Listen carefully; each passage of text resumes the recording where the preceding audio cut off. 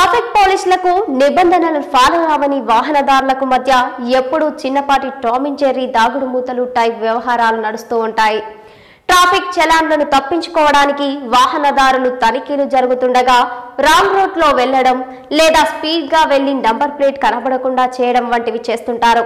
ఇక చూడగానే అర్థం కాకుండా ఉండేలా గజిబిజిగా నంబర్ ప్లేట్లను తయారు చేయించడంతో పాటు ఈ మధ్య ఏకంగా నంబర్ ప్లేట్లే మార్చేస్తున్నారట. ఈ విషయం ఎప్పటికప్పుడు అప్డేట్ అయ్యే పోలీస్ బాసుల దృష్టికి వచ్చింది.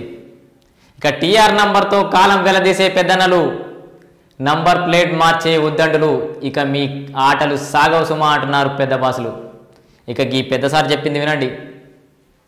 ఈ మధ్యకాలంలో చాలామంది వాహనదారులు ఈ ఈచలాలను తప్పించడానికి తప్పించడానికి కొంతమంది వాళ్ళ యొక్క రిజిస్ట్రేషన్ నెంబర్ ప్లేట్ ఏదైతే ఉందో ఆ నెంబర్ ప్లేట్ మార్చి వేరే నెంబర్ పెట్టుకోవడం జరుగుతుంది. ఇది నేరం.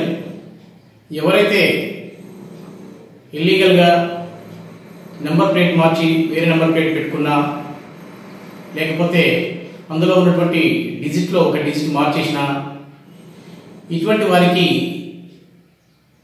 చీటింగ్ కేసు నమోదు చేస్తాం. చీటింగ్ కేసు నమోదు చేసి ప్రాసిక్యూట్ చేస్తాం. కాబట్టి ఎవరైనా సరే ఒక వాహనము కొన్న తర్వాత షోరూమ్ వాళ్ళకు టీఆర్ నెంబర్ ఇస్తారు. టీఆర్ నెంబర్ ఇచ్చినా కూడా వాళ్ళు ఒక నెల రోజుల పాటే ఆ టీఆర్ నెంబర్ వ్యాల్యూ ఉంటుంది. ఆ తర్వాత దానికి వ్యాల్యూ ఉండదు.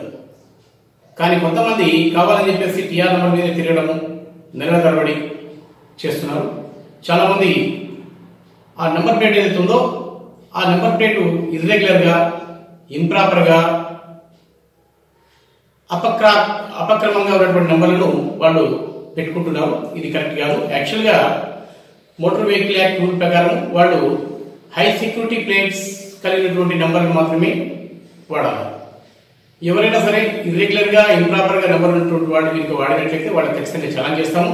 తర్వాత ఒకరి నెంబర్ను ఒకరు మార్చి పెట్టుకోవడం వల్ల తర్వాత ఒక నెంబర్ డిజిట్ చేసి కావాలని చెప్పేసి చీటింగ్ చేస్తే వాళ్ళ మీద ఖచ్చితంగా చీటింగ్ చేసి నమోదు చేస్తాం. ఈ మధ్య మాకు తారసపడినటువంటి కొన్ని అంశాలు మా దృష్టికి వచ్చాయి. చాలామంది ఇట్లా నంబర్ ప్లేట్ మార్చి వాహనం నడపడము నంబర్లు కనబడకుండా చేయడము నంబర్లు అపసవ్యంగా ఉండడము ఇర్రెగ్యులర్గా ఉండడము ఇవన్నీ చేస్తున్నాం. ఇది నేరం అని చెప్పేసి ప్రత్యేకంగా నేను విజ్ఞప్తి చేస్తున్నాం. ఎవరైతే ఇటువంటి దుశ్చర్యకు పాల్పడతారో వాళ్ళ మీద ఖచ్చితంగా చీటింగ్ కేసు నమోదు చేస్తామని చెప్పేసి తెలియపరుస్తున్నాం.